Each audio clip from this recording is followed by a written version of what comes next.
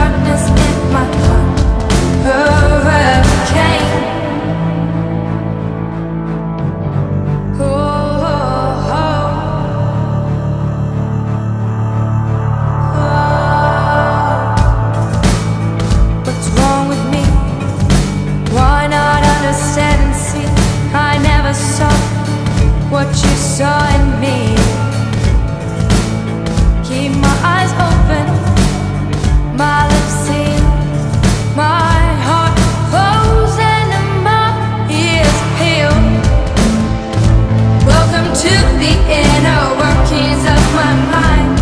So.